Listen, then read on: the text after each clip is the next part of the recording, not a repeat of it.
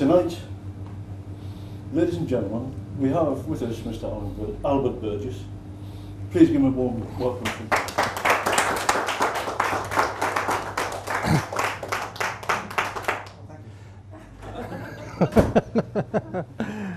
Thank you very much. Um, I, I have to tell you, I come with a health warning because everybody I met in my life called Albert is completely and utterly stark raving mad. And I will give you an example of that. I was walking up the Pentonville Road one night with my colleague Tony. Tony is a born traffic policeman. Um, uh, that means he's only got half a brain, really, but uh, he's quite a good friend of mine. And, and we were walking up the Pentonville Road and we saw these two cars full up with Asians which were leapfrogging up, up, up the road. So we thought we'd find out what they were up to and I stopped my car and he stopped his. And uh, I'm not a traffic policeman. Uh, so I very soon got fed up with the no English, only Hindi, no English, only Hindi. Um, and I wanted to go back. It was half past two in the morning and I was dying for a cup of tea. But Tony, being a born traffic policeman, he's going to report somebody for something. So I thought I'll give him a heavy hint. And I walked across the road, and as I was walking across the road, I saw this man walking down the road towards me, and he had a wallet in his hand, and he had on the wallet a cigarette packet. Now, I don't smoke, so we'll have to do that. and he was walking down the road like this, half past two in the morning. And I went up to him and I said to him, Good morning, sir.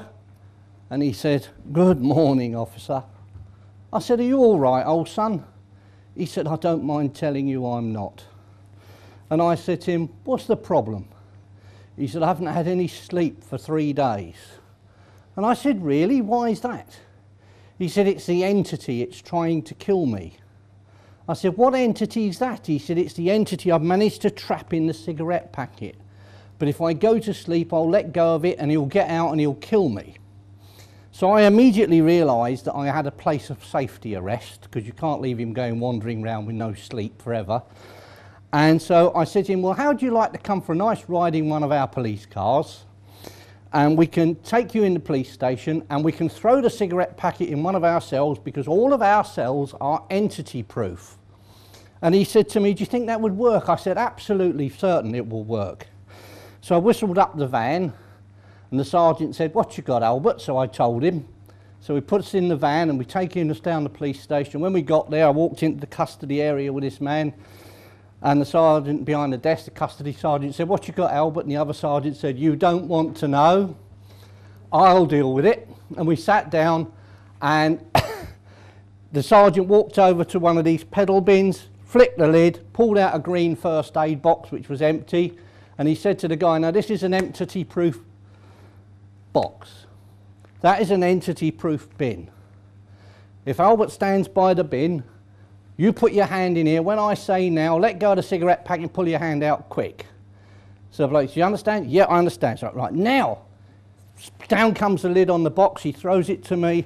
I threw it in the bin, slammed the lid of the bin shut, and the sergeant and I looked at one another. We went, "Phew, that was close." Now I've got to put pen to paper. And I said to the guy, What's your name, old son? And he said, Albert. And after that, I was known as Entity Albert throughout the rest of my time in the police station. But, I mean, basically, everybody I've ever met, as I say, called Albert, has been stark raving mad. Now, I was a special constable. Now, a special constable has all the powers and obligations and authority of a proper policeman or a regular policeman who gets paid, but you don't get paid. You do the same training, and a friend of mine who's a regular officer at Hendon Training School told me that they get better results out of special constables in the exams than they do out of a regular intake because the special constables do it because they're interested in doing it, not just because it's a job. But the police are there to uphold the law. But there are different kinds of law. There is the common law of England. There is constitutional law, which is supreme law and overrides everything else. And then there is statute law passed by Parliament. And in order to understand what this is all about, you have to understand our constitution and how it developed. Alfred the Great, when he became king of the English, put all of the laws, the best laws and customs from all of the various old kingdoms into one book of law called the Dome. He showed it to his Witan, which was his parliament, and he asked them if it was good law. And they agreed it was, and it was published as the King's Law and was the first ever book of constitutional law. And it was really quite enlightened because in it they said that if you are a widow, say you were married to a lord and you were a widow because somebody, you know, he died one way or another, normally your estate would revert back to the crown who would reallocate it. And you'd be out and you'd have to hope find somebody to it to you. But what normally would happen is the king would find if you were 25 years old, young, nubile widow, the king would find some 60 year old git who he wanted on his side and he'd marry you off to him. And Alfred actually put in his book of laws that a widow should not be forced to marry against her wishes. He was nice to you girls, wasn't he? Um, and also, you would keep the estate, and the estate would be run by you. And if you couldn't run it, then they'd appoint somebody to run it for you. But that person would not be answerable to the king, he'd be answerable to you. If you weren't happy, you contacted the king, and the king came and kicked him in the nuts or something, right? So basically, it was very enlightened law. Over the years, this has been repeated. It was repeated in the Charter of Liberties of Henry I in 1190, Magna Carta in 1215, 1628 Petition of Right, and the 1689 Bill of Rights. And basically, it's simply a repeat of the English law, and it's constitutional law and it can't be repealed and it is actually supreme law. Police officers, unfortunately, are not trained in constitutional law. The only common law they are trained in is breach of the peace. But when you're a police officer and they say to you, this is the law of breach of the peace, but you can't use it because you are there, your primary role is to prevent breaches of the peace. So if you arrest somebody for a breach of the peace, you've actually failed to prevent a breach of the peace, and that's neglect of duty. So if you arrest him for a breach of the peace, you yourself are in trouble. Use the Public Order Act instead. And then, of course, they enforce statute law, and statute law is stuff like the Road Traffic Act and things like that. Now, a statute law cannot be used to repeal a constitutional law. So when the Bill of Rights says that you cannot suffer any final forfeiture unless you have been found guilty of an offence in a court of law, and Tony Blair's government come along and say, if you don't pay the road tax on your car, we will seize it and crush it, the statute is overridden and voided by the constitutional law. However, government are ignoring our constitutional law. That's no reason why police officers should. We have here this thing for the inquiring minds. And on it, you have a policeman in the old style uniform with his shirt sleeves out. It's a nice sunny day wandering around being nice to people and smiling at everybody he, meets, patting all the dogs, kissing all the children, and doing the things that the police normally would be known for doing. On the other side, you have a policeman with a fluorescent jacket on, so he's never going to catch anybody committing crime because he's lit up like a Christmas tree, so you're never going to see him. Uh, he's never going to get close enough to see you committing crime because you can see him three miles away. And he's got CS gas and a big truncheon and everything else on him which makes him really difficult. And basically, you give him a bulletproof vest as well. So what you've got is a paramilitary. And that's what you see on your streets today. Now, over here, it says, I have to put my glasses on for this, because frankly, I'm going blind. Corporate employee, revenue collector, and to enforce statutes. Now, that's actually not true. Every police officer in this country is answerable to the law and only to the law.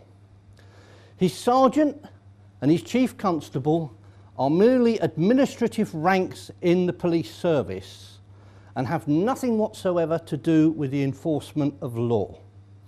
They get that right by the virtue of the fact that they hold the ancient and honourable office of constable.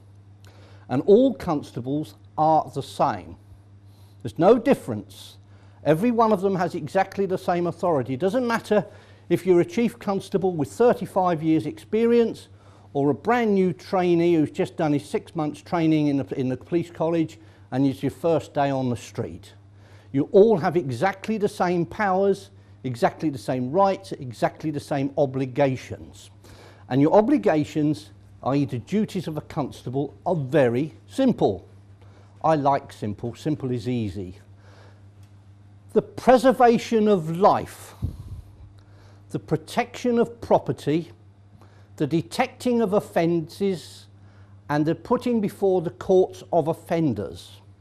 That is the description of a police officer. That is his job description. Nothing else. That is his job description. Now, a few years back, they brought out this silly system. They did it when I was policing, and it came as a point system. If you gave out a fixed penalty ticket which was endorsable, you were awarded three points. If you caught a rapist who'd raped a dozen women, you were awarded three points.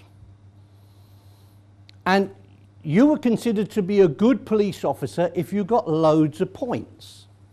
So consequently, they've slanted the policeman's mindset into collecting points. Now, frankly, there aren't many multiple rapists out there. And, but there are lots of cars. So if you want to be seen as a good policeman, you stand on a corner and you wait for people to jump a set of traffic lights and then you give them an endorsable fixed penalty ticket.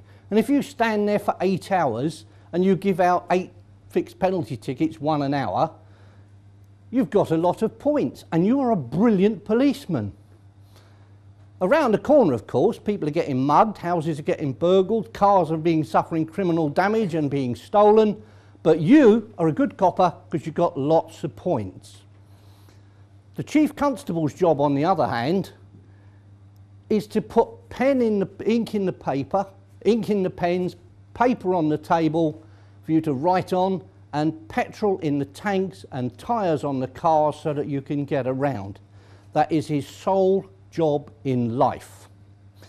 Now, unfortunately, the days when policemen understood this and the days when policemen would actually stand up and argue about things are going because the whole thing is being dumbed down. And it's being dumbed down in a number of ways. For example, when I took my oath of attestation, I swore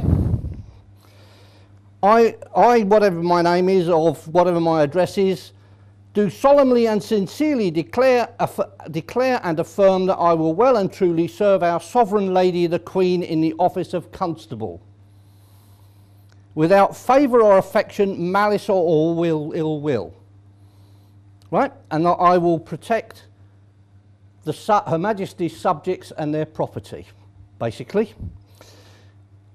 That was my oath. I swore it to a sovereign queen. But in 2002, with the Police Reform Act, they changed it.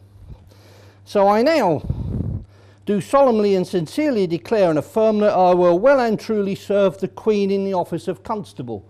Note the loss of the words sovereign lady. Now, that is quite important because if you remember Queen Elizabeth, the Queen Mother, when the King was alive, King George VI, she was Queen, but she was not sovereign. He was. And Queen Elizabeth, because she is Queen and sovereign, she is a sovereign Queen. But we've left it out in the new oath.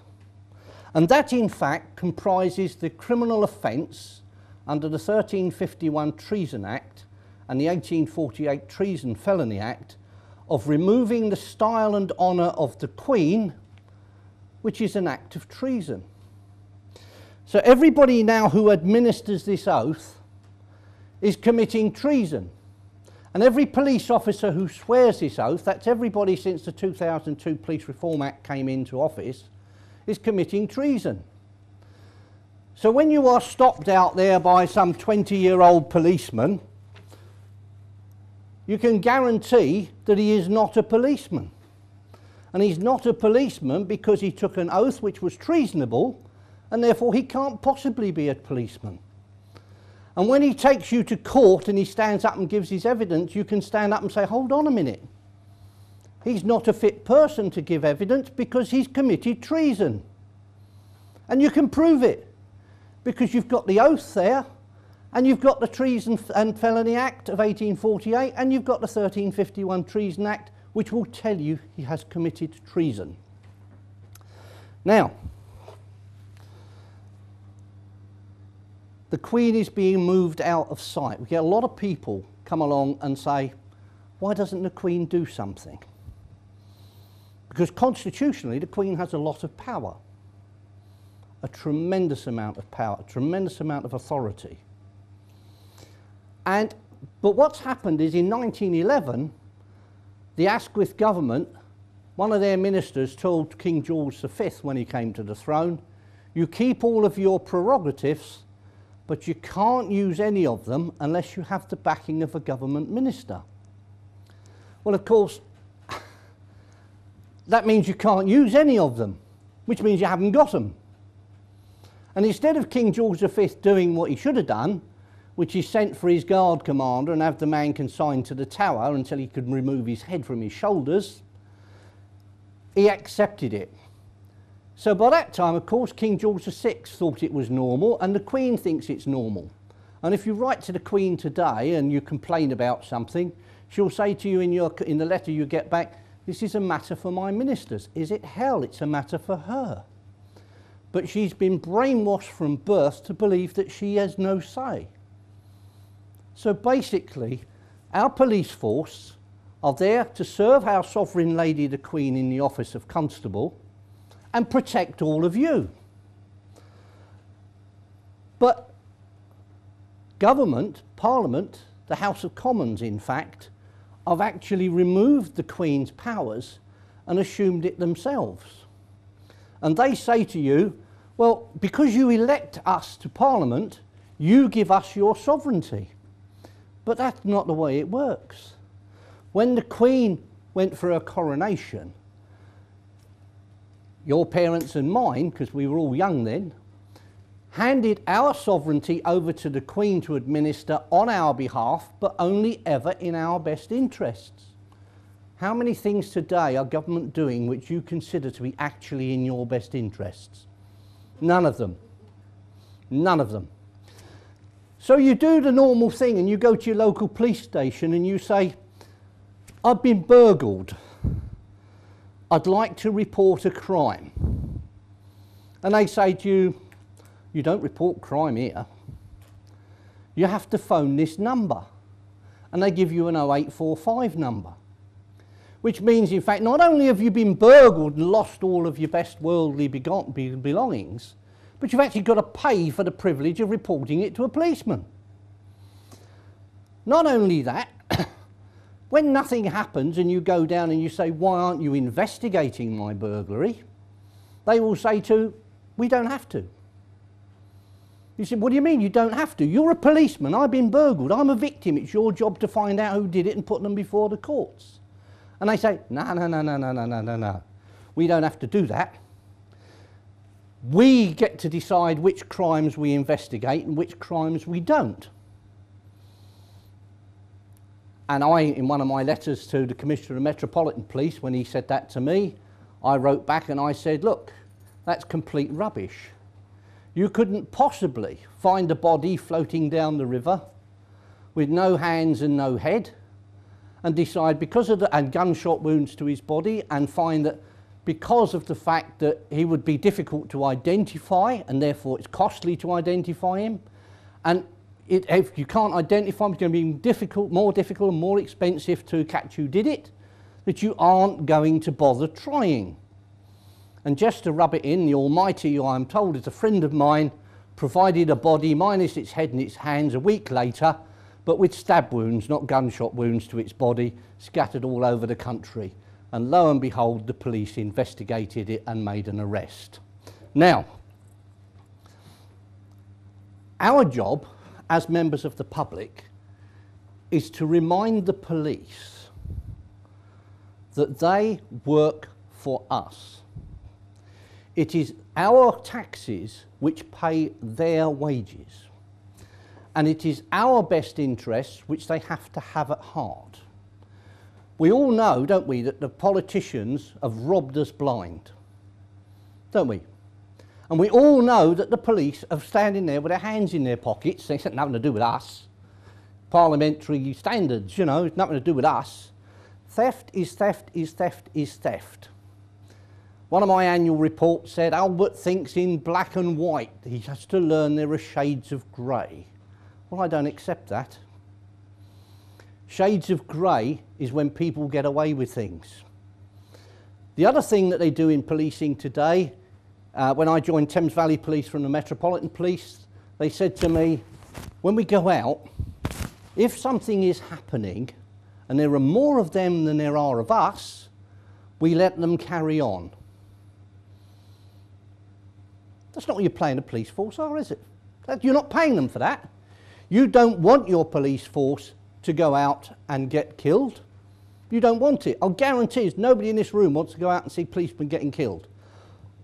But if a gang of blokes have dragged this lady here into a churchyard and a gang raping her, you expect that police officer to get killed trying to save her if that's what it takes, don't you?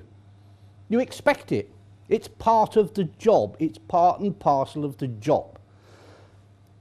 So you have to make your police force do their job. How do you do that? How do you do it? Well, what you do is you look at the police force and you say, I've, I've, I'm a victim of a crime. I report that crime. And the first thing the police force will say to you today is, we'll give you a crime reference number. And you say, I don't want a crime reference number, I want a crime book number. Because unless there's a crime book number on it, it's not a crime. It doesn't appear in the statistics. So if you've got 100 burglaries in a particular area and they give out three crime book numbers, as far as the statistic is concerned, you've only had three burglaries. The other 97 forget about because nobody's ever going to look at them. When I was policing, if I went to a burglary, I would go and I'd see the victim and do all the necessary with the victim. I would then go and knock on every door on both sides of the street. Did you see anything? If they'd come in through the back garden, I'd walk round the block and I'd go and knock on every door that overlooked the back gardens. I never once went out and did that and did not find somebody who could give me a description of somebody they didn't like the look of. I never did. Today, you report a burglary, you don't even see a policeman. They take it over the phone for which you are paying. And you might get a crime record number and you might get a crime book number. That depends upon how kind they are feeling that particular day. You must insist on getting a crime book number. And if you don't get a crime book number, you find out who's not giving you the crime book number and you put a report into them for a about them for a neglect of duty. It's easy.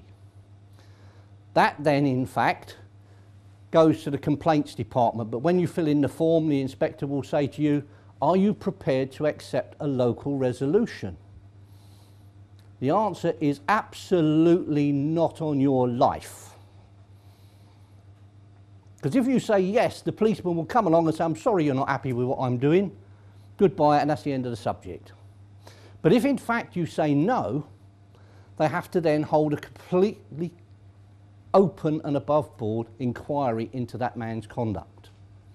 They should come along and interview you. They don't always, they should, but that in itself is a neglect of duty if they don't. And basically what we do is we actually get into policing in that way and that's what we do.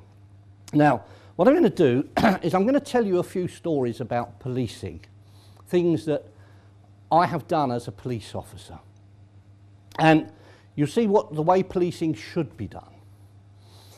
I was off duty one day and I had an old lady on my beat. I'd had to go down the police station and sign some paperwork and she was only 100 yards up the road and being an old lady, she didn't eat too well and all the rest of it and she was a bit suicidal so I was a home beat officer at the time so I would actually walk in and see her and have a cup of tea and a chat for two or three times a week with her just to keep her on the straight and level. And I thought, well, I don't know, she don't eat very well, I'll take her up some cod and chips. And I was waiting in the queue in the fish shop and I can hear this tumult come out the road. And being policeman and naturally nosy, I walk out the door. And I looked up the street and there were a dozen punk rockers walking down the road, all with the obligatory bottle of Old English. And one of them, every time he passed a car, he would take a running kick at it. Now, we are policemen all human. And I used to park my motorcycle on a motorcycle bicycle park outside my house, along with about 40 other people. And I would go out in the morning and find somebody play dominoes by knocking them all over.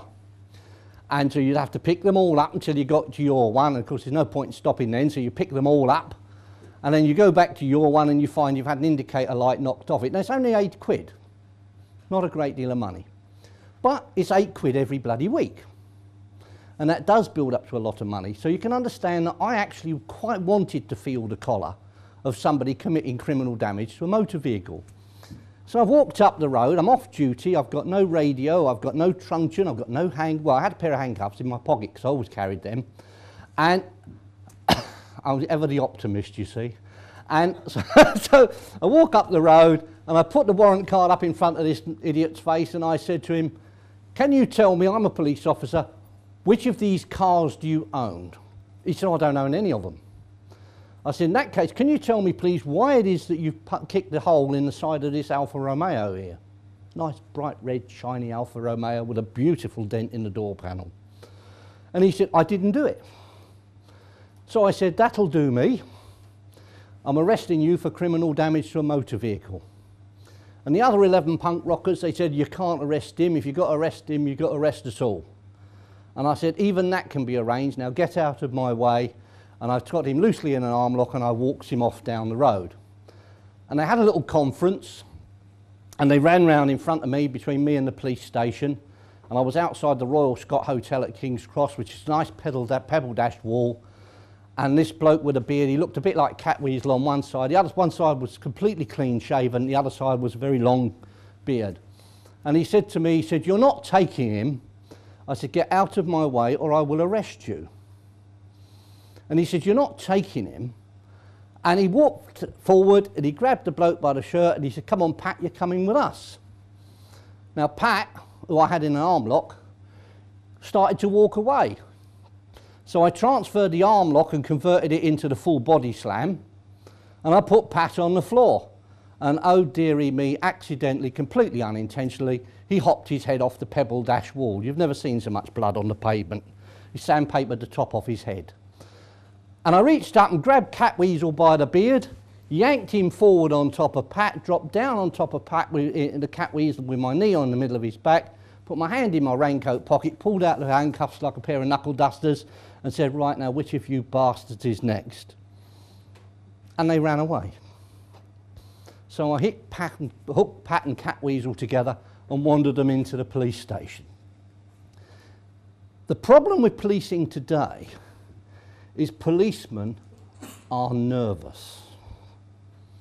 They won't get out of their car if there's a pub fight. Somebody might hit them.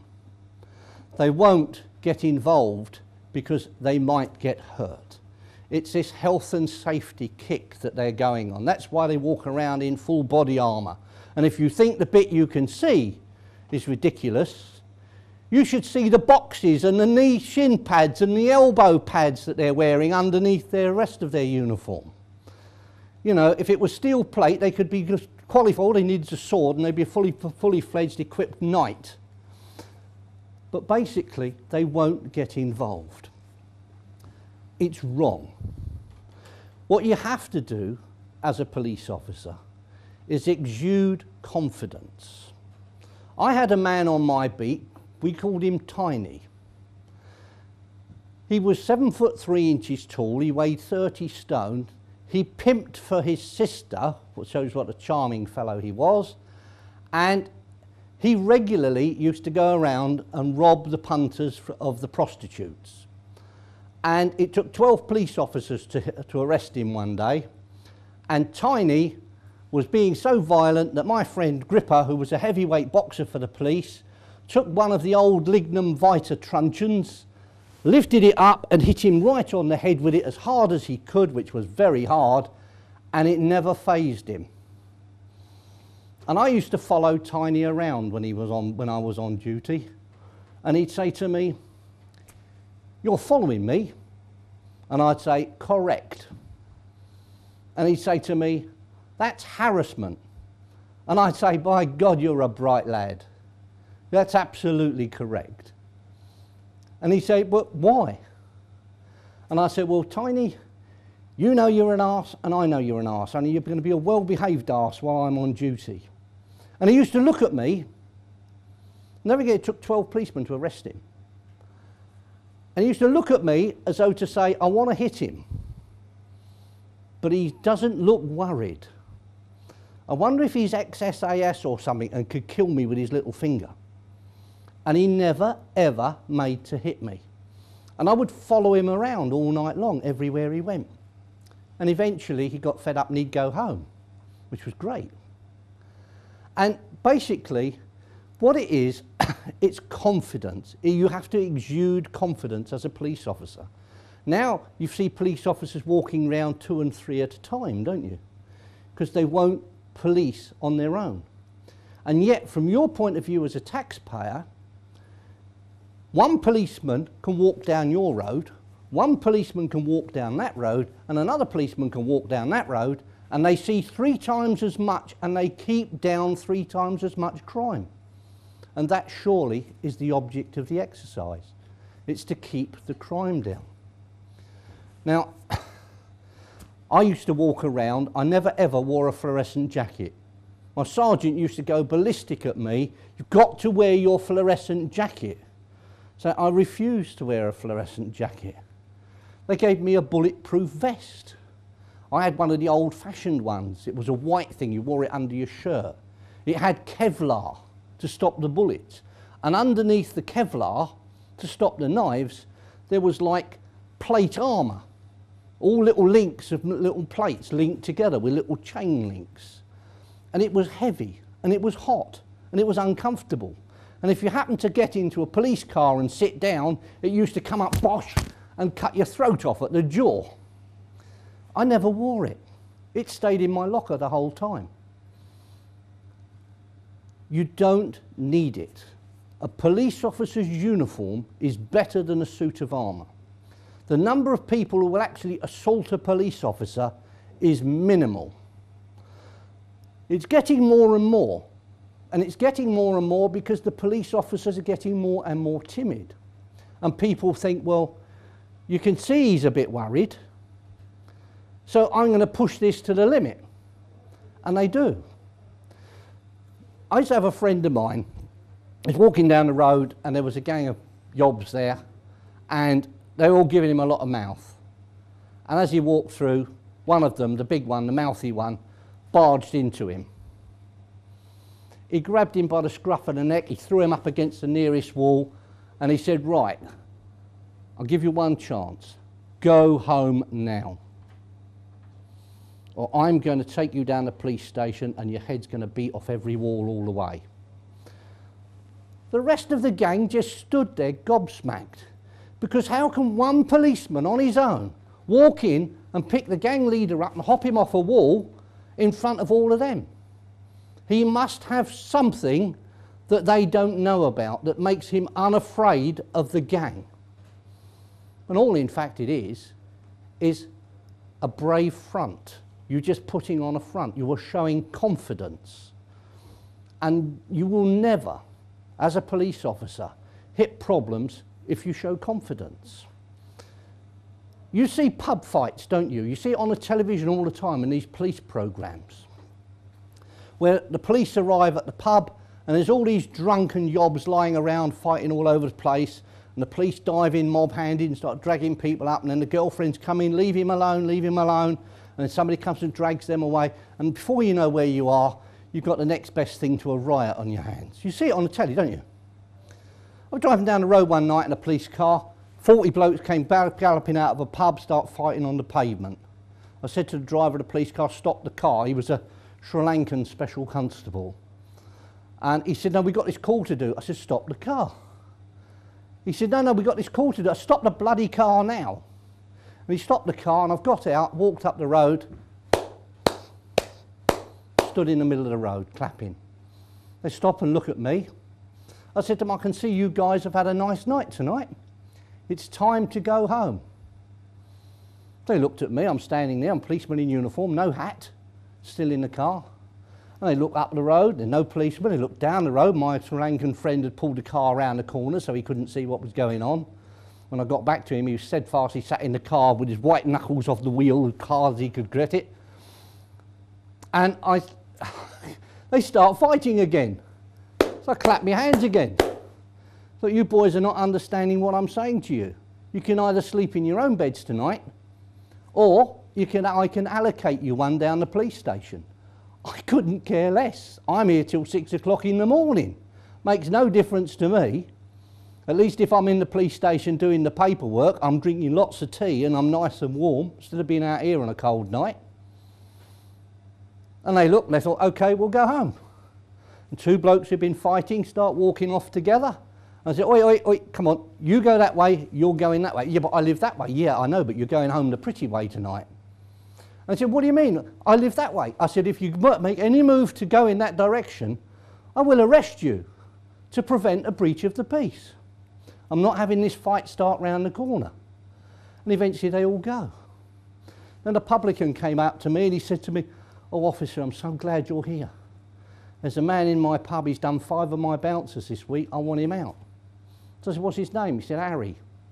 So I said, okay, let's go and see him. Point him out to me. So he went in there, points him out, walked over to Harry, who's in the middle of an argument with this very tall guy. And I walked over and I said, evening, Harry.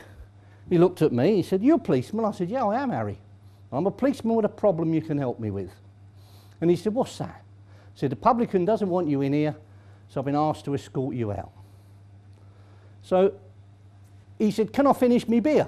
I said, well, you paid for it. Get it down in one and you can finish it and wash it down. He said, can I get me coat? I said, well, it's no good to anybody else, Harry. Picks up his coat and we walk out the door. As we're walking out the front door, along come three territorial support group vans. About 45 policemen come galloping through the doors, led by an inspector, truncheons at the ready. Where's the fight? Where's the fight? Where's the fight? There was no fight, it was all dealt with. But every time you see on the television, don't you, massive fights because these people jump out of vans and go belting into action without asking any questions. How many of you watch drink drivers being arrested on the television? Come on, you must have, right? Every single drink driver you see arrested on the television in this country, that arrest is illegal. And I'll tell you why. What do they do? They stop the car, the bloke falls out the car, and they say, Right, I want you to blow into my machine. Don't they? And the guy blows into the machine and it goes red, and then they arrest him because he's provided a positive sample of breath, and he's off down the police station. It was illegal from minute one. Because when you stop a car and you want to breathalyze the driver, there is a little legal formula that you have to give him because I suspect you to have been driving a motor vehicle on a road or other public place whilst having consumed intoxicating liquor, are you, I require you to take a breath test. And unless the policeman says that, he hasn't made the requirement. So this blow into my machine isn't legal. Therefore, the arrest isn't legal. Therefore, everything that happens in the police station isn't legal. Therefore, you get away with it in court because you stand up and say there was no requirement to actually give a breath test. You get people, normally policemen, you know, it happened with a superintendent, fell out of his car, rip roaring drunk, and instead of the police officers arresting him for Section 4 of the Road Traffic Act of 1988, which is being incapable of driving a car because you're drunk, for which case they don't need anything, they just say, well, he's laying on the floor, he's too drunk to drive, he's nicked, right? Instead of doing that, the guy crawls out the car and he says to the officers, Officers, officers, I'm drunk. You better give me a breath test. So the officer, thinking this is Christmas, goes home and says, Right, blow into this. When they get him down the police station, the superintendent, who is well drunk, says to the custody sergeant, Sergeant, there was no requirement to make the breath test. I told them I wanted to take it. And the sergeant said to the policeman, Is that true? And he said, Yes. So the sergeant said, Right, take this gentleman anywhere he wants to go because the breath test was not legal. You never see any of that on the television policing programs, do you? Like police stop and all that. You don't, do you?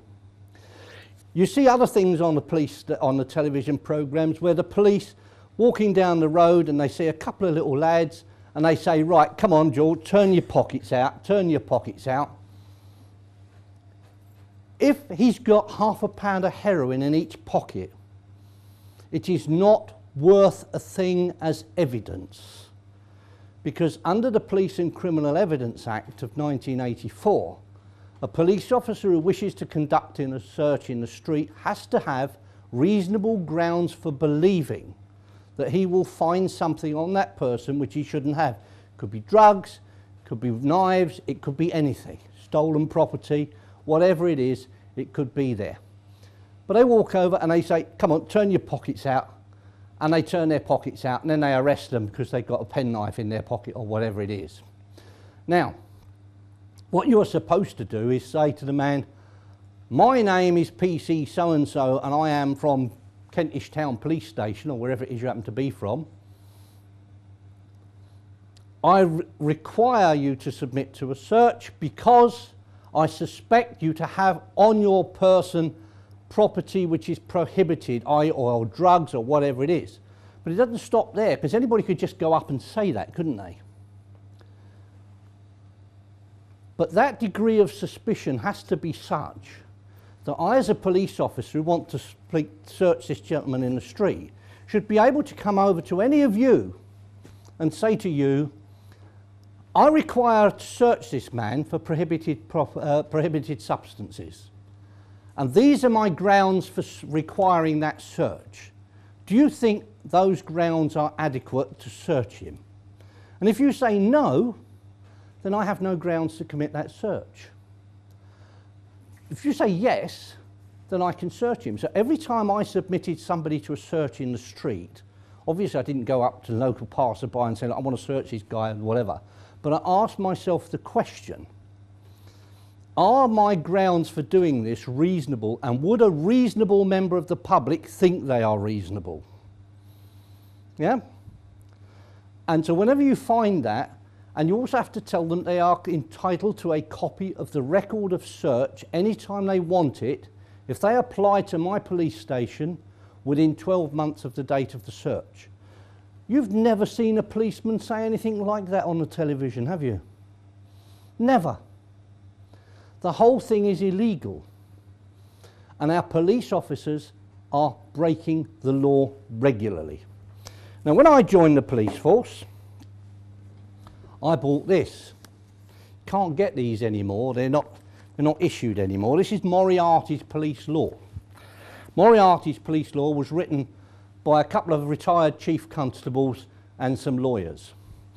And it goes into great detail of the law. Now, I was watching a superintendent from Birmingham on the television one night, and he was moaning like the clappers about the boy racers tearing up the middle of Birmingham at night. And he was saying, we need more powers to deal with this. And I'm thinking to myself, you pillock. And he's saying, we don't have the right sort of rule, uh, right sort of laws to deal with this. And I'm thinking, you absolute pillock. Because the 1848 1847 Town Police Clauses Act, 1848 Town Police Clauses Act, section 28 says quite clearly that a constable or any person can arrest without warrant anybody driving or riding furiously to the danger or annoyance of the public. Simple. But there's no bail. You take them back to the police station and they remain in the cells until you can take them to a magistrate. So if you nick the little scrote on a Friday evening on a bank holiday, he stays banged up in the cells until Tuesday. And his nice little Golf GTI with a super deluxe hi-fi unit that deafens everybody for 50 miles, with his nice alloy wheels and his super deluxe exhaust that makes 10 times the noise it's supposed to, and his nice little spoiler on the back, that's parked by the side of the road all weekend. And when he comes back and it's got no wheels, no hi-fi system, no spoiler and no nothing, whose fault is that? He shouldn't have been tearing up Birmingham in the middle of the night, should he? If you deal with it under the Road Traffic Act, you stop him and you give him a £60 or an £80 fixed penalty ticket. That's a medal. Look what I got, fellas. I got one of these. That's a medal. How much less of a medal is it to be banged up in a police cell all weekend until you can be taken before a magistrate? 1848 uh, Town Police Clauses Act is still the law of England. And the reason it is the law of England, government want to get rid of it. But they can't get rid of any law which says a constable or any person. Because they can't remove your right to make a citizen's arrest because the common law of England, the constitutional law of England, enshrines that right in you for all time. They can't do it. So basically, what's happening is we've got an old style set of laws which work very, very well, and a new style set of laws which are illegal, i.e., the crushing of your motor car. Parking tickets. Who's had a parking ticket? Yeah, fantastic. Half the people in the room have had a parking ticket. It's illegal. When I joined the police force, I had to give out parking tickets as part of your training. I gave out the one I had to do for my training. I never gave out another one since because, as I say, I'm not a traffic policeman. I didn't see my life was here to actually annoy the motorists. I was a thief taker. I was a special constable, but I was a home beat officer. I worked in conjunction with a regular policeman who did the days, I did the nights on a main red light district in London. I was a principal officer at three murders. With one of those murders, a man had burnt his wife to death. I actually arrested the principal suspect. You all remember the Stephen Lawrence case, don't you? Oh, God, racism, racism, racism wasn't racism at all. It was the normal idiocy of police officers who don't know what day of the week it is. I had a lady on my beat. She had multiple sclerosis. One of the effects it had, apart from putting her in a wheelchair, was the fact it made her voice very low. She couldn't talk very effectively. You had to actually bend right down and put your ear right next to her mouth before you could hear what she was saying. She had a very yappy Scotty Terrier. And her husband went around for weeks beforehand because he had a drink problem, she had the money, and she told the bank they were only to give him £20 a day. And he went around telling everybody for weeks, I'm going to burn my wife to death. Now, I was the first officer at the scene. I went into the house, which had flames coming 40 foot out of the roof. I saw the fire brigade try to get into the room that she was in. They couldn't, the door was locked, there was no key in the lock. She's wheelchair bound and in the far corner of the room. She didn't have the key. The fireman had to go out and get a short ladder and use it as a battering ram to break the door down. I went into the room with the fire brigade. They were squirting their hoses. I saw her, not very pretty sight, having fallen through the burnt rubber of her wheelchair, uh, and she was there. At which point, the home beat officer came up to me and said to me, Albert, Rosemary Ford, her name was, very brilliant home beat officer. She said to me, Go to the end of the road, you'll see a blue Ford Escort coming up the road, find out who's in it. If it's, if it's her husband, arrest him on suspicion of murder. Right down the road, five minutes later, up comes a blue Ford Escort, two blokes in it. One of them was a husband. Right, you're coming with me, old son, you're mine. I then let them know that I've got him. I want transport to come and collect him. While we're there, he's crying, My wife, my wife, my wife. Not a tear in sight. Now, I know my wife actually drives me crazy on occasions. And we would, all of us fellas, wouldn't we, like to throttle them on occasions? Wouldn't that feel good? Yeah? But I love her to pieces, and if she was burnt to death, I would be devastated. Absolutely devastated. And believe me, there would be tears. Don't tell her I said that, I shall deny it. All right? But there would be. And, and there were no tears. And so two detectives come along, so I've done what they call de-arresting him, and then they have re-arrested him. And then I've gone back to the house. And several people came up to me and said, Officer, officer, we'd like to tell you that this man told us personally that he was going to burn his wife to death. And I've collected all their names and phone numbers and their addresses on a piece of paper. And I saw the inspector, and the inspector said to me, because the little dog was dead, he said, I've arranged for the council to come and take the dog. And I said, No, we don't want that. We want the dog to be posted, surely. We want to find out why the dog died. She was in the living room, that side of the house. The dog was in the bedroom, that side of the house. The dog was dead. There's very little smoke damage in the bedroom. There's practically no smoke damage in the passage because it was a very good fire door in the living room. And it's kept all of the fire into the living room. There was some damage where it started to burn through the door into the passage, but basically not a lot. The inspector said, no, I've arranged for the council to come and collect it. I said, no, we don't want to do that. We want a post-mortem on that dog. We want to find why it died. It's a very yappy little dog. Why didn't it notify everybody within a five mile radius by its barking that something was drastically wrong? He said, give it to the council, that's an order. So the council came and took the dog away. And I said to him, Right, when I get back down to the police station, I'll, I'll, I've completed my pocketbook entries here. I'll get down to the police station, I will do an incident report book and a 991 statement. And he said, I don't want anything on you on, from you on paper. I don't want anything from you at all on paper. So I went back down to the police station anyway, and I filled out my, my, uh, my um, incident report book, and I did my 991 statement. And I said, here they are. And he said, I don't want them. Throw them away. I don't want them. So I put them in my locker. Ten months later, it went to court. Two detectives stood up in court. One of them stood up in court and he said, on day, date, time and place, I was on duty in full uniform when I saw a man I now know as, and I arrested him, and the man was freaking out in the dock, and he's saying, you lying bastard, it wasn't you. It was some special constable called Albert that arrested me. And the judge grabs for the papers, and where am I? I'm not there. So I get sent down a statement form to fill in. On day, date, time and place, I was on duty in full uniform. I attended the scene of a fire.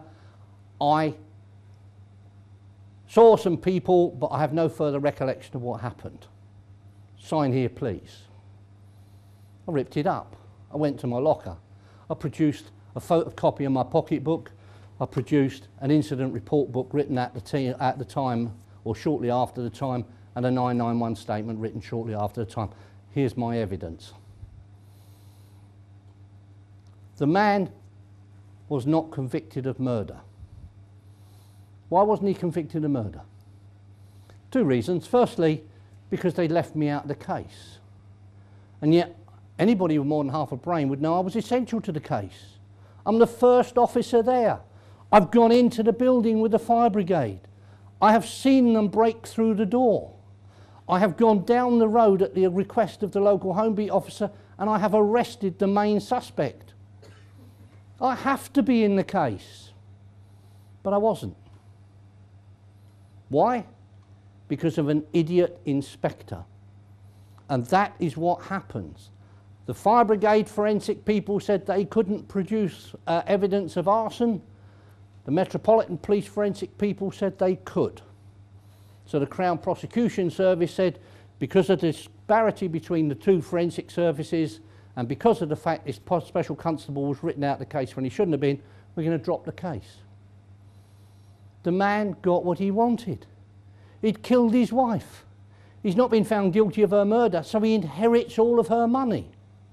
The only thing I hope is he drunk himself to death in, death in short order. Racism in the police force, I'm not saying it doesn't exist. What I am saying, I have never, ever seen it. Sexism in the police force, not saying it doesn't exist. I have never, ever seen it. And on the rare occasions when I have seen racism, it's normally been a black police officer against a different type of black. I've never seen it with white police officers. I've never seen it sexism with white police officers. They treat the girls in the police station with respect. They treat them nicely. It's the black police officers who walk up, as one did called Perry, walked up to an inspector, a female inspector who'd asked to see him, and he walked up to her and he said, Who loves your baby? Crunch. And she just said, In my office. That was it. I mean, she should have floored him, really, but I mean, in my office. So basically, racism, not responsible for the Lawrence problem. Stupidity, definitely. It happens. And it's our job as members of the public to see the police force are not allowed to be stupid. They're not allowed to do that sort of thing. They have got to actually stand up and actually do the job the way it is supposed to be done. Right, I think that's about it, really. How are we doing? Any questions? Yes. Uh, well, I, I, think the Anti-Terrorism Act, um, A, is probably unnecessary. There's a lot of acts that are unnecessary. The Race Relations Act is completely unnecessary. Um, you know, if I, if I throw a brick through a black man's window because he's black, um, they deal with that under the Race Relations Act. If I throw a brick through a black man's window, that's criminal damage. The fact I've thrown it through his window because he is black, that aggravates the criminal damage. The English law, the ordinary English law, dealt with it nicely, thank you very much. There was no need for any other law. All the Race Relations Act has done is made an awful lot of people frightened to upset an awful lot of other people. And that shouldn't be the case. Well, ap, ap, no, no, I understand that. I, no, I understand that. I understand that. And I think that the, the anti-terrorism laws are being used in a manner for which they were not designed or shouldn't have been designed. I suspect with this government they were, but they should not have been designed for that. But I also think that you have to blame not the Anti-Terrorism Act, but the individual policeman who uses it. Because the individual policeman who uses it should be sufficiently well aware of what his job is, which is, i.e., the preservation of life, the protection of property, the detection of offences and the placing before the courts of offenders, to know that that law is not appropriate to that situation. Do you understand what I'm saying? Yeah, I do, but I mean, what happens if you're stopped? I, mean, I drive a four-wheel drive and I'm stopped in an airport. Yeah. Um, a couple of weeks after that, Glasgow. Yeah. And I was stopped on the basis I was driving a four-wheel drive and my vehicle was basically stripped down and so was I, under section 44. Yeah. And when the police officer asked me who I was, I told him that he could and work that out for himself. Because I'd done nothing and he had no reason to arrest me. And he told me that if I didn't acquiesce with his requests, I no longer had any rights. I would be held for seven days. Well, well, Now, 14 or whatever it is. Right, well, basically, uh, you, you do have rights, and they can't take them away from you. You do have rights. Um, however, under the Road Traffic Act, if a police officer asks you to identify yourself, then he in fact has an absolute right to do that. And if you say, no, I'm not going to tell you who I am, he will simply arrest you for obstructing an officer in the execution. Yeah, Section 44. right, right. Okay, fine, fine, fine. But you're still in charge of a vehicle. And if you're asked, if you're in charge of a vehicle and a policeman asks you who you are, you have to tell him, because that's what the law says. If you don't tell him, then in fact he will arrest you. He will arrest you, you should go back to the police station, not for seven days, for Christ's sake, but only for such time as it takes to identify who you are. Because we have this thing, don't we, which is going all the rage now, that if a policeman stops your car, you must actually not tell them who you are. Because if you do, you're entering into a contract with them. Now, there's not a policeman in the country who wants to enter into a contract with you. When he stops your car, he wants to know is it your car? Are you entitled to drive it? Is it insured? Is it road taxed? And, you know, are you stone cold sober? Yeah? That's what he wants to know. If you satisfy all them boxes, you're on your way in three minutes flat normally. If you start arguing, then you will be arrested. In which case, you're going to look at the next six hours at least, locked up in a police cell, while they find out who you are and why you're being so bolshy.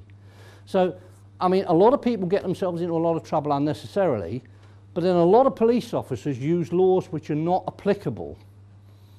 Do you know what I mean? They, they do use them when common sense would say, right, well, when, when common sense would say, I mean, I was in Ramsgate years ago, I used to do a lot of boating. And I was in Ramsgate, and a guy came in in his little yacht, and he said the customs went out to do a, a check on his boat, as customs and excise do. And they asked him for his, his documents, and he said, Get lost. It's my ship, you're not coming on it. So they pulled it out of the water, they dismantled it on the, on the dock side, and they left it. His engine all in pieces, the propeller shaft out, everything all in pieces on the dock side. And when they'd found nothing in it that was contraband, and he said, Well, what about putting it back together? They said, No, that's your job now. That's your job. You, you were difficult with us. We've stripped, we've searched your boat. It's not our job to put it back together. We only dismantle it to find out whether, why you're being difficult. You, you know, you're being difficult because you're stupid. That's fine. Now you put it back together. And, and, and it, it's, it depends on the policeman you get. And also, of course, all policemen are human. So when you've got out of bed because you haven't had any sleep last night because the wife's been having a go at you over something that you've done or she imagines that you've done more often than not, and you, you, you come to work, you're in a flaming bad mood with the wife, and you go out on the beat, and the first thing you do is you stop a car because it's broken the law somewhere, it's turned left where it shouldn't, and all you get is a mouthful of abuse from the driver and a total lack of co- cooperation. You're not supposed to react to that but policemen are human. And sometimes we, all of us, want to hit something. And they don't actually hit you, but what they do do is they hit you with the full force of the law. And it's, it's 90% your own fault because basically, if you spoke to the man in a reasonable manner, he'd say, or at least he's being reasonable, not like that so and so I've got at home. Do you know what I mean? And, and, and you can do a thing. I mean, it depends upon how, how you approach things. I was going on the beat one day and I had a jumper. Lady came up to me and said, Officer, officer, look at that man up there. And he was sat on the balcony. Now, my first wife suffered very severely with premenstrual tension and depression. She was homicidal and suicidal. I lived with her for 14, 13 years before I divorced her. I had, I had enough. It took 13 years. I'm a slow learner. And, and uh, so basically, I went up there and I said, What's the problem, old son? He said, Don't come near me. He said, I'm going to jump. I said, I'm not coming near you. And I sat on the floor and leaned up against the wall and said, Right, tell me all about it. Oh, it's my wife. She's doing this, she's doing that, and doing that. Oh, I can't beat that. And I told him a story about my first wife. And he said, Well, she's doing this and that and the other. I said, No, I can beat that. And I told him another story about my first wife. And after half an hour of this, he got off the wall and he came and he said, Come on, you need a pint more than I do. And we went into his flat and we spent the next half an hour drinking beer and chatting. So, but basically, policing is common sense. It's 100% common sense, policing. Uh, a certain amount of knowledge of the law, but mainly common sense. And basically, if you walk down the road and you see something going on and you think it's illegal, then the chances are that it is. And it's the same for policemen.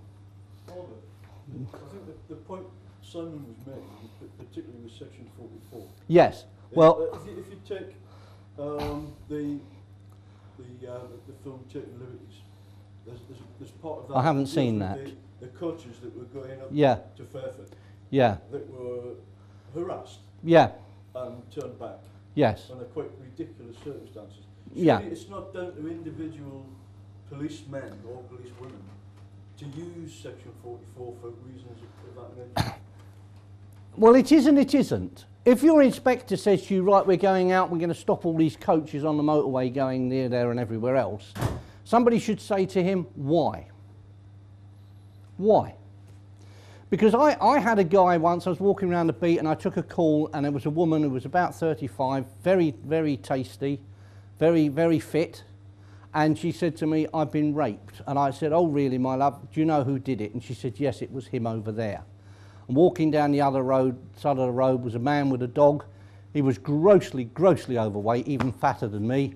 And, and he suffered very badly with emphysema, I found out. He could hardly put one foot in front of the other, neither could his dog, which was also grossly overweight.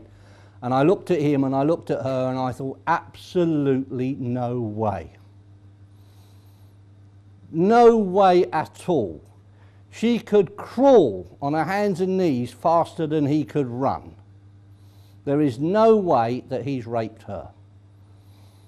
So anyway, I've got her shot off to the rape sweep because that's what I have to do. And I went over to the guy and I said to him, I'd like you to come down the police station, please. I've had this allegation and I need you to help me with my inquiries.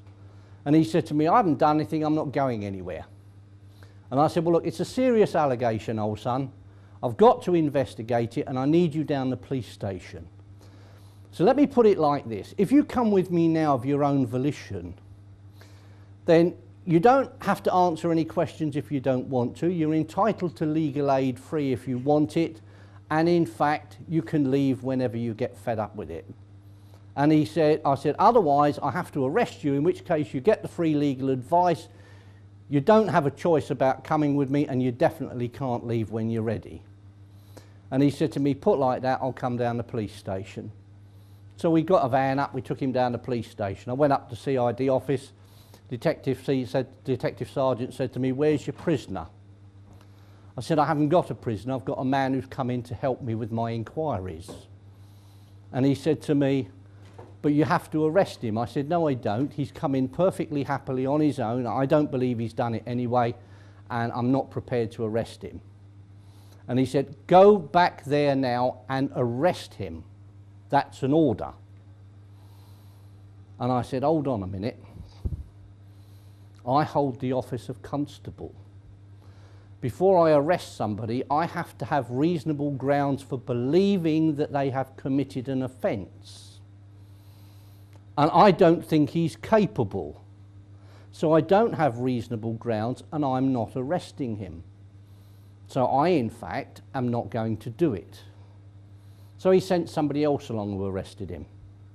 And that's the difference in the police force. Some policemen will argue, some won't. They questioned her that day. They questioned her at 10 o'clock the following morning, got a different story. They questioned her at 3 o'clock in the afternoon, got a different story. Over three days, they questioned her. Every time they questioned her, got a different story. At the end of the time, she admitted that she'd been out with the girls all night on the beer. She didn't want to go home and tell her husband she'd been out with the girls all night on the beer, so she thought he'd stand it better if, she thought, if he thought she'd been raped. So it didn't happen. What didn't happen, what should have happened, is that she should have been charged with um, wasting police time at the very least. But she didn't, she wasn't. So, so basically, it's a question of the individual policeman whether he's prepared to accept an order which he believes to be unlawful or not. regarding wasting police time, surely police time was wasted incredibly on the Fairford bus from London. Well, absolutely, absolutely, absolutely. Um, and, and, and in, but you see, there are not enough police officers up there. As I said, every single police constable in this country, in England and Wales, is answerable to the law and only to the law. Every single one of them. And in fact, there are not enough police officers who will stand up and say, no, I'm not doing that because the law says I don't have to, or the law says I shouldn't. I am not doing that. There are not enough police officers who will do that. What they do is they say, yes, Governor, and away they go and they do it. Because it's not their responsibility anymore. It becomes the inspector's responsibility, the superintendent who's told them. But the fact of the matter is, they seem to forget the Nuremberg defence doesn't work. I was only doing what I was told, said the Gestapo officers at the concentration camps. But we hung them anyway. The Nuremberg defence does not work. It didn't work then and it doesn't work now. What we have to do is make sure that our police officers uphold the oath that they took to do their job without fear or favour, malice or ill will. And if they do that, that will be fine. Yes, sir. How are you going to make them do it? Well, you have to talk to them. You have to explain to them that you're unhappy with the standard of policing. Now, how do you do that? Well, it's easy. You start a neighbourhood watch up, and then when you've got your neighbourhood watch up and running, or, or a residents association, you start one of them, and when you've got it up and running, or a group like Pewsey, which is up and running, and then what you do is you write a letter to your local superintendent and you say, We are having a series of meetings and we would like you to attend because we are discussing policing and we'd like you to give the police point of view. And when, people, when the band comes here and he's out in front of you and you all have a go at him, he's powerless. He can't do anything. He can't do anything. He can't lock you all up. For God's sake, he's on camera anyway. But I mean, basically, you then read the riot act to him and you make it perfectly plain to your local superintendent that unless you get the quality of policing which you insist upon, it is his job you are going for. It's taken him 20 years to become a superintendent. So it is his job you're going for. It is his pension you want to make sure he doesn't get. And if you do that and you can convince him that you are serious, he will go back to the police station and he will tell his officers what they have to do. I had an inspector, actually, it was the same inspector who did the inquiry in, into the um, Kelly murder, because I believe it was a murder. And this man, he was an acting inspector at the time, which meant he was a sergeant. And I had a ruck with Thames Valley Police over their phone service, which is completely non user friendly, as I'm sure is the phone service in Wiltshire. And they, I wanted to hand some property in that I'd found, and I went to the police station, it was shut. So I phoned the police station, no answer, just an answer phone. So I then um, thought to myself, I'm getting really sick of this. I'm going to find a policeman and I'm going to ram this piece of property right down the back of his throat. Actually, it was a nice leather coat. I'm going to ram it down the back of his throat. The first police car I saw was actually an armed response vehicle. So I've stood on my horn until he looked my way, and then I've gone to him, You over there, in my best traffic officer's manner. And he went round the roundabout and parked up, and I parked up, and I explained it all to him. And he said to me, I know exactly what you're thinking. I had a puncture this morning when I come out. I had to phone the police station, let them know I was going to be half an hour late while I changed the tyre. I couldn't get through. All I could get was a bloody answer phone.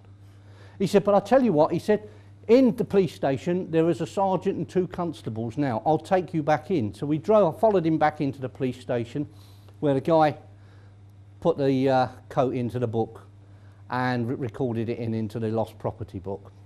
And then, as I was going out, I saw a policeman I knew, and I said to him, Aidan, why don't you answer the phones? And he said to me, Oh, no, we don't answer the phones after five o'clock at night or before nine o'clock in the morning. I said to him, No, Aidan, that's not the point. The point is that people like me who are employed in industry are paying money to pay your wages. And among other things, we're paying your wages to answer the phones. If the phones ring, pick the bloody things up. And he said to me, No, no, we don't do it. I said, Aidan, pick them up.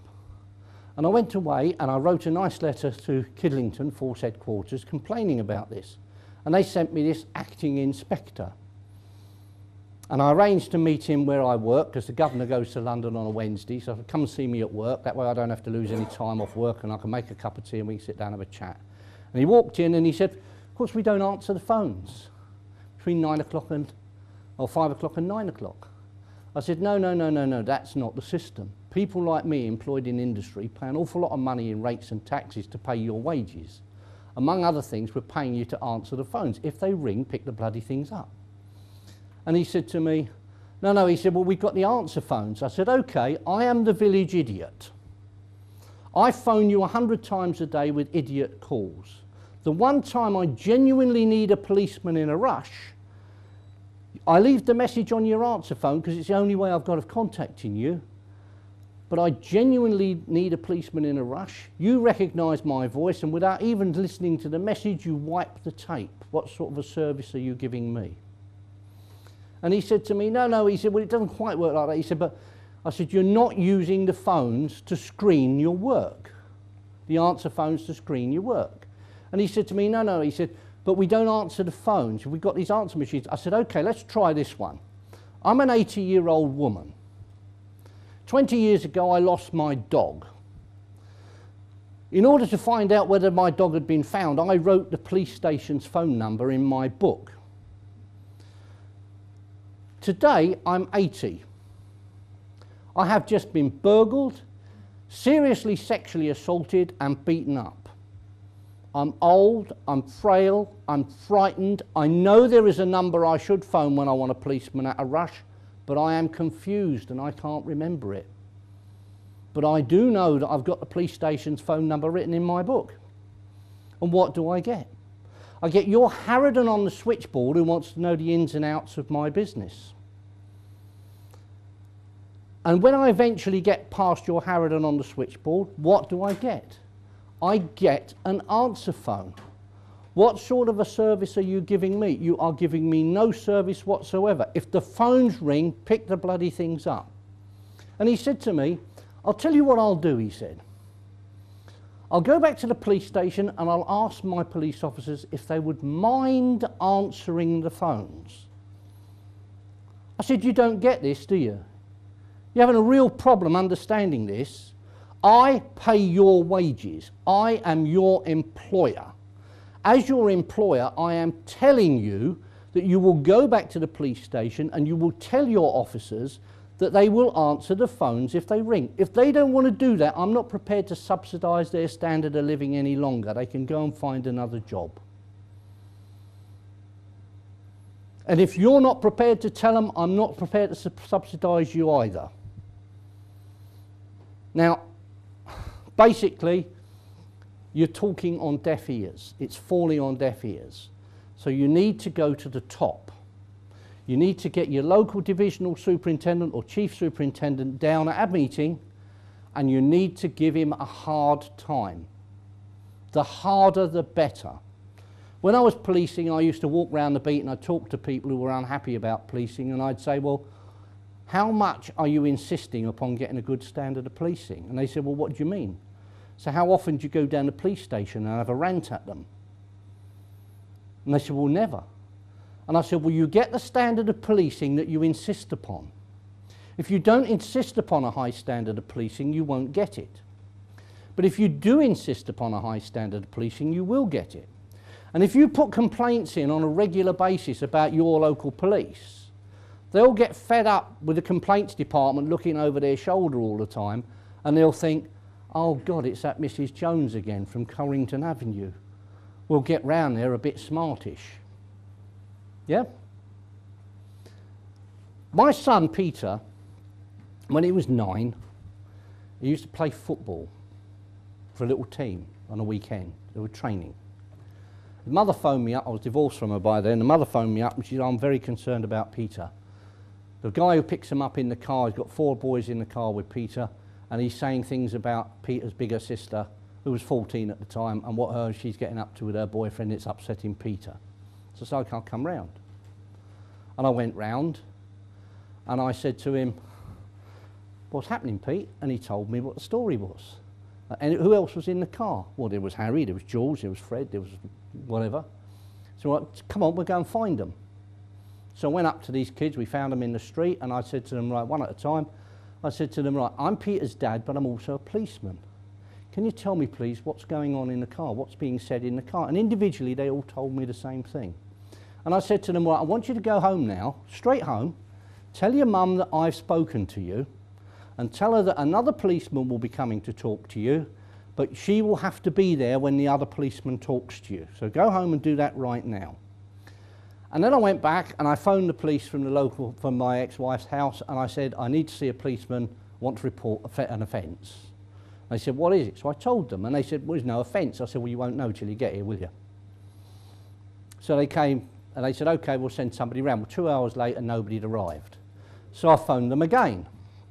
And I said to them, what's happening? They said, oh, we discussed it. We decided there's no offence, there's no point in going. I said, if I haven't got a little man in a blue pointed hat standing in front of me in five minutes, my next phone call will be to the complaints department at Scotland Yard. The police car, when it came, came round the corner with the blues and twos going on on two wheels. Two police officers got out, very officious, clipboard, listened to what I had to say, and he said to me, it was no offence, there's nothing we can do.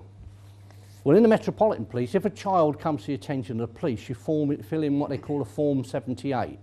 If it's because he's helped some old lady from, uh, who's been run over in the street, you fill it in, it goes to the Youth and Community Department, they take it to Chief Superintendent, Chief Superintendent writes him a nice letter of commendation because he's done something nice. If it's because you caught the little scrote, he's drunk, uh, uh, or he's been shoplifting, or he's out with his mother who is drunk, then it goes through all the channels and it goes through social services and everybody else. And I said to the guy, there's absolutely nothing you can do. And he said, no, nothing at all. I said, you're absolutely certain about that? And he said, yeah, absolutely. And I said to him, really? What about a Form 78 on the youth club? And he looked at me and you could see enlightenment dawning. And I said, yes, you're absolutely right. I am job. Now, I don't care whether this is investigated by you or by me. It's on your division's grounds. So I'm giving you an opportunity to investigate it. But I tell you now, it will be investigated. It, and if I investigate it, there's going to be a bigger bloody bang in West Hampstead Police Station than there ever was at Hiroshima. So they went away, and the next thing you know, my son gets a, an interview with the police and they ask him what's going on. And the next thing we know, we've got to go to Southwark Crown Court because the guy has been arrested. Fortunately, he hadn't laid a finger on my son. Two of the other boys he had committed serious sexual assaults on. If I hadn't insisted that that was looked at, then in fact it would have gone on and eventually my son would probably have been a victim along with everybody else. So you insist upon the standard of policing that you want, and if you insist hard enough, you will get it. Because the police don't like people complaining about them. It's hard work for them. They can lose their pension, they can lose their job, they can even, in certain circumstances, go to prison. So basically, insist upon a high standard of policing. And the best way to start that is to have a meeting and get the man here himself and give him a hard time. So you invite your local divisional superintendent, the inspector for the area, and the local beat policeman. You get the three of them down. The superintendent will tell the inspector he's not going to these places to get harangued like that again. Sort it. The inspector will tell the policeman, sort it. It's typical, isn't it? Captain gets a headache, so eventually the ship's boy ends up kicking the cat. Right? It gets passed down the line. You don't care where it goes to. All you want to know is that when you ask for a policeman, you get a policeman. When you get him, he is efficient and does the job properly. insist upon a high standard. Anybody else? Any more questions out there? Yes, sir. Have you seen the film Taking? I haven't, no. I, I can highly recommend that you do, because everything you've said has been very interesting about local policing if we get burglary. But to my mind, the crucial issue is the role of the police in political oppression in this country. Well, the, basically, there are some cer- certain things which concern me greatly about the police today. Very concerned about the oath, for starters. I'm also very concerned about the fact that in the past, when I joined the police force, you had to be either a, uni- a, a- a United Kingdom subject or a subject from the Commonwealth. Either way, you shared the same sovereign that we have. Nowadays, they've done away with that, so you can in fact become a police officer from anywhere in the world. Now, this is particularly dangerous because at the moment, there is a great groundswell of resistance building up in this country about what government are doing. Quite rightly, because what government are doing is treason. There is no doubt about it. It fits the definition of treason word for word. They have decimated a food producing industry. If you allow the food producing industry country down so far that you cannot feed your own people, that is definition of treason. They have deci- decimated our manufacturing industry. If you cannot manufacture the necessary goods and things for your own population to use, that in fact is a definition of treason. If in fact you allow your armed forces to be so degraded that they are incapable of defending your own country, that in fact is treason. Now, we don't have any production methods to produce guns, ammunition, tanks, aircraft to renew the equipment our armed forces use, to buy it in. We buy it from the French, the Germans, the Spanish, and anybody else will sell it to us. All of the people that we maybe go to go to war with. It's no sense, does it? Why would you want to buy German guns and fire German bullets where if you can end up with a war with Germany, they just send it, you stop sending it to you. You, you can't win, can you? So basically, these things are treason. There are breaches of the Constitution, which are treason. The treason is the Constitution is being subverted on such a scale that it being degraded so badly that in fact we are now living in very dangerous times because the Constitution put there by our forefathers who were not stupid built the Constitution in such a way to give us all the protections we were ever likely to need. House of Lords lost their, their ability to throw out a bill in 1911. Again, in 1948, it was, it was changed again. 1911, they could only hold it up for three years. 1948, only up for two years. After that, they've gone. All of the hereditary peers have been thrown out of the House of Lords. Completely illegal. They have a letters patent from the sovereign. Uh, some of these letters patents go back hundreds and hundreds of years, but they entitle any lord with letters patent to sit in the House of Lords. They've been thrown out. That is illegal. It's unconstitutional. Restricting the powers of the Lords, unconstitutional. Removing the royal prerogative from the Queen, unconstitutional. Therefore, illegal. Politicians are overtaxing us. Definitely overtaxing us. They are robbing us blind. That's just a simple fraudulent accounting. When you go and claim 18, 16,800 pounds for a mortgage, which you don't have, that's fraud, isn't it? You committed fraud, the policeman would come and feel your collar, wouldn't he? Take you away, you'd go to prison. Members of Parliament, we can do what we like.